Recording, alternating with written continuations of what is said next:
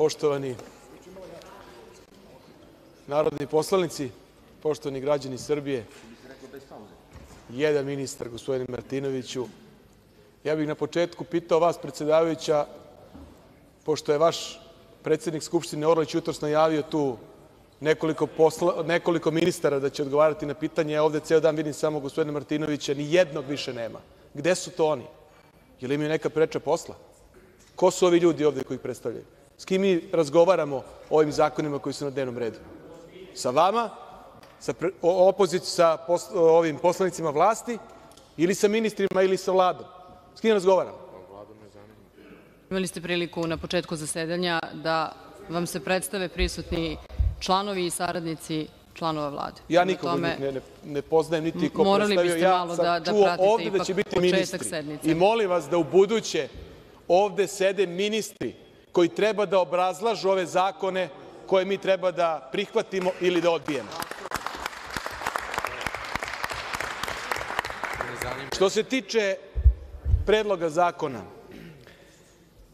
dakle, ovi zakoni koji su danas na dnevnom redu i odluke i sve ostalo, izbor sudija, izbor sudija, sudijskih pomoćnika, u 21 tački sve zapravo predstavlja nastavak daljeg urušavanja institucija, privatizacije države od strane vlasti, represije, pritisaka, manipulacije nad građanima Srbije, ali isto tako i nastavak širenja straha i stvaranja mraka u Srbiji.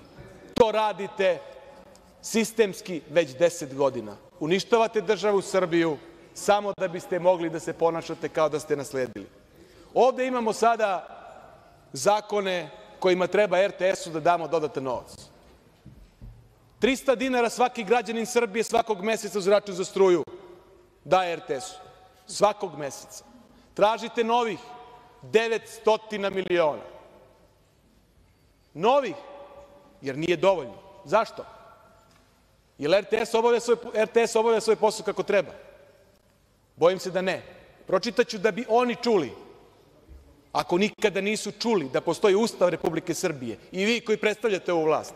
U članu 51 Ustava kaže svako ima pravo da istinito, potpuno i blagovremeno bude obaveštavan o pitanjima od javnog značaja i sredstva javnog obaveštavanja su dužna da to pravo poštuju.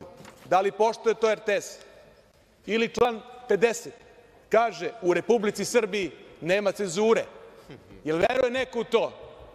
Ne veruje niko. Ne veruju ni oni na RTS-u. Nekada na RTS-u su sedeli akademici. Danas sede direktori i penzioneri. Traže od nas pare, a ne kažu koliki su prihodi od reklama, od njihovog poslovanja. Ako tražite od nas novac od građana Srbije, položite i vi račun. Šta radite i kako trošite pare? Ili pravite kombinacije sa Wireless medijom, sa Žeželjom, radite serije ko kome, Telekom finansira, vi emitujete, plaćate i to tako funkcioniše. Znate, kad govorimo o tome kako RTS obavlja svoj posao, perfektno to ovaj dijagram objašnjava. Evo, pogledajte, građani Srbije, pogledajte i vi, poslanici vlasti. Ovo je zastupljenost stranaka na vlasti i stranaka opozicije na televizijama sa nacionalnom frekvencijom. B92 97% vlast, Happy 96, Pink 95, Prva 95, RTS 95. Nema razlike između Pinka i RTS-a. I mi plaćamo takav RTS gde 5% zastupljenosti za godinu dana imaju svi građani Srbije koji podržavaju opoziciju. Njih nije malo. Nije ih malo. I razmislite kako se ponašate prema njima. Kad govorimo o javnim informacijama, kad je taj RTS izveštavao o aferama ministara, o aferama funkcionera u javnim preduzećima, kad je izveštavao o Jovanjici, kako je izveštavao Telekomu, kako je izveštavao Krušiku, kako o aferama Siniše Malog, Ane Brnabić i njenog brata, Bratislava Gašića, Aleksandra Vulina, Zvonka Veselinovića, Milana Radojičića. Oni pljačkaju bre ovaj narod i ovu državu, crpe pare iz budžeta. Šta radi RTS?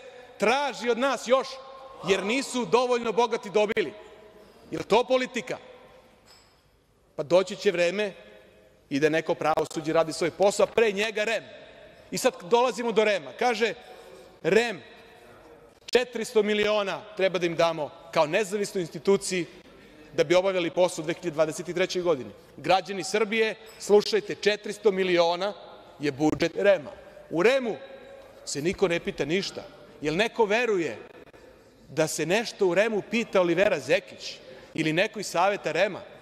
Pa pita se sve Aleksandar Vučić, naravno. On je samo našao dovoljno besprizornu i besramnu osobu da bude tu, da štiti, da bude tvrđava režima, da ne dozvoli da do građana Srbije dođe informacija, da ne dozvoli da slučajno nacionalnu frekvenciju dobije televizija Nova S. Pa što se bojite toga? Aleksandre Vučiću, kad si toliko hrabar, kad si toliko uspešan i sposoban, pa zašto ne daš tu frekvenciju jednu Novoj S? Pa ne bojiš se valjda od jedne televizije? Pa imaš koliko hoćeš svojih. Na kraj krajeva, ako nemaš šta da kriješ, dajte pluralizam. Dajte građanima da mogu da čuju i druga mišljenja i druga razmišljanja. I onda REM šta će nego štrajk. Kaže pritiska ih opozicija, pritiska ih, ne znam, United Media, štrajk. A onda jedna od članica Saveta REM-a kaže pa da, mi imamo pritisak, ali od vlasti. Imamo od vlasti pritisak da slučajno ne damo frekvenciju televiziji Novoj S. Onda dođe zaključak, pročitaću zaključak predsednika Odbora za kulturu i informisanje, koji nažalost nije dobio većinu, jer je dobio onaj koji je predložila vlast. U svakom demokratski uređenom sistemu regulatorno telo za elektronske medije predstavlja čuvara, ali i kreatora takvog ambijenta, sa velikom političkom, intelektualnom, ali i moralnom odgovornošću. Svestan važnosti informativnog i kulturnog prostora koji formira, gradi, ali i brani. Pa vidite sami da li se to dešava sa današnjim REM-om ili ne. I naravno, postoji još jedna stvar. Možda nije samo kriv Aleksandar Vučić što ne sme da dobije Nova S frekvenciju. Možda je kriv i Rio Tinto. Kad su videli koliki je bunt, ajmo sad da pritiskamo i da uzimamo i medijima prostor da se ne bi o tome govorilo. E sad, zašto je ovako stanje u državi? Pa zbog pravosuđa. I zato ja hoću ovde da vidim ministarku pravde, koje nema. Kako birate sudije danas, usput? Takvo nam je stanje u državi. Usput birate sudiju drugu sednicu za redom uz 20 ili 40 tačaka. Negde tamo se biraju neki sudije. Pa onda kažete pa šta je sporno, ko je tu naš? Hoćete da vam nabrajamo šta rade sudije u razvaljenom pravosuđu Srbije? Razvaljenom pravosuđu. Gomila njih služi samo da sankcioniše i proganja opoziciju. Šta radi Nena Stefanović, tužilac? Proganja tužioca Milovanovića samo zato što je doveo do prvostepene presude protiv Simonovića za paljenje kuće Milanu Jovanoviću novinaru. Proganjaju ga. Proganja inspektora Milenkovića i sve inspektore četvrtog odeljenja zbog Jovanjice. Milka Šućur daje rešenja koja čita predsednik države tu, rešenja, presude protiv mene čita predsednik države, prekršajnu presudu. Ili neki Petar Damjanović koji se tali tamo koliko će da odrepi opozicionare ako se vodi neka parnica. To su sudije, to je sud. Kad neko iz vlasti bude procesuiran za sve ovo što se dešavalo godinama unazad, tad ćemo znati da postoji pravosuđe. Do tada nemojte lagati i obmanjivati građane Srbije i pričati o institucijama. Niti ima institucija, niti ima države u kojoj nema pravosuđe. Pravosuđe ste razvalili i privatizovali da bi se štitili.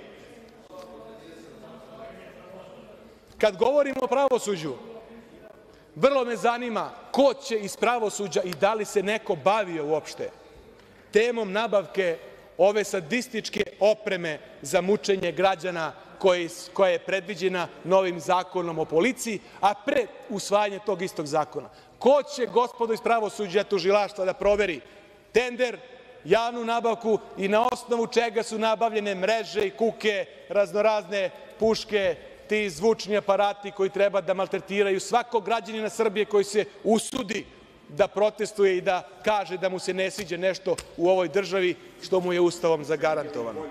Dakle, sad ste novi korak napravili, a to je da usvojite zakon protiv naroda i policije. To je novi zakon koji predlažete o policiji. Policija d.o.o. ili preciznije Bata Gašić d.o.o. Tako bi trebao da se zove taj zakon. E, volao bih da čujem šta kaže to pravosuđe i ti vajni nezavisni stručnjaci u Srbiji na to što je on protivan i međunarodnim pravima, neetičan, diskriminatorski, da ne poštuje ljudska prava i slobode, već je napisan tako da bi ih ugušio i to ovim sadističkim raznoraznim igračkama.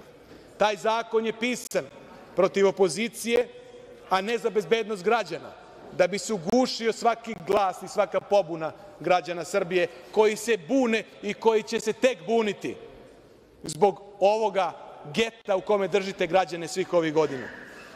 Trudnice, srčani bolesnici, osobe sa mentalnim smetnjama, ukoliko se usude da protestuju, čekaju ih elektrošokovi i druge nekakve mere kao što su e, mreže sa čeličnim kukama kojima će se loviti demonstranti kao na safariju. To vi pripremate za građane Srbije. Dalje, upadanje u kuće i stanove zbog efikasnosti, pazite molim vas, bez sudskog naloga. Dalje, kaže sistem za biometrijsku obradu podataka.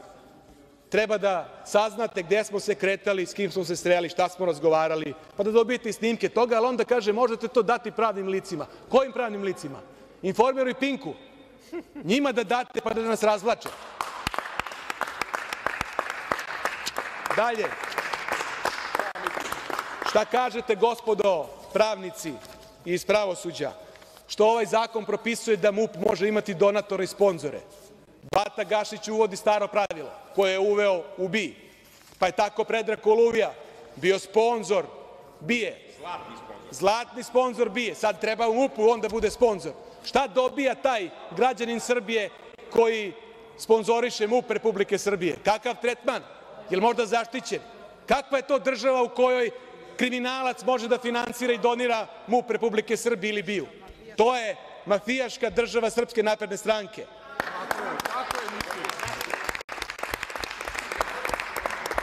Sa druge strane, policajce ćete da maltretirate, pa raznorazne kazne, diskreciono pravo ministra koga će u penziju, koga će da kazni, koga neće, kako će, na koji će način, a može i pomoćna policija gde kaže svako za koga ministar bude procenio da je dostojan, nema veze da li je osuđivan ili nije, može biti u pomoćnoj policiji, tako da možete i ovog vašeg koljača Lalića da ubacite da bude i on u pomoćnoj policiji sutradan.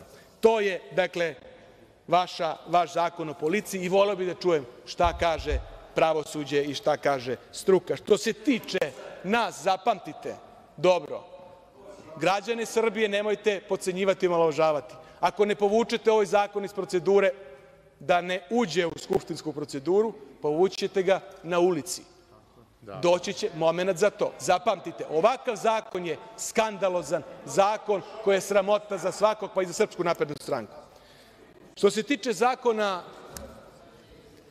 o državnim službenicima, moram da vam kažem da držite Srbiju u vanrednom stanju, odnosno u VD stanju, da budem precizniji, od kako ste došli na vlast. Danas građani Srbije od 34 preduzeća u kojima je Republika Srbija 100% vlasnik, preko 20 direktora su u VD stanju, od kojih je 18 istekao mandat VD direktora.